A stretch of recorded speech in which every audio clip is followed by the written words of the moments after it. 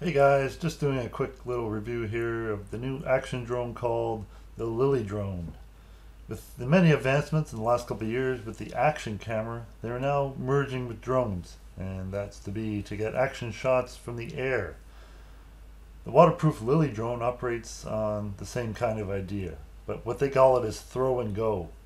So ideally, you need to throw only the Lily out into the air and then it starts to fly itself uh, it can also be thrown into the water and it can also start flying from there as well.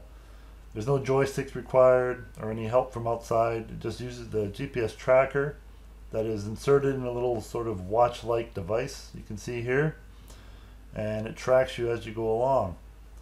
It can also give you information like distance, position, speed, and the camera angle. You can record at full HD video 1080p and 720p. That's 60 frames per second. And it can track users from between 5 kilometers per hour to 100 kilometers per hour. And that's all the while still holding clear images. the, the battery life, you're looking around 20 minutes. Uh, uh, that's about average, I'd say. Uh, but there is a built-in landing procedure, so when the building, the battery, excuse me, runs low, the drone will uh, land itself. And since it's waterproof, landing in the water won't cause it any damage. So this is a really neat little device that's uh, fairly new. It just came out.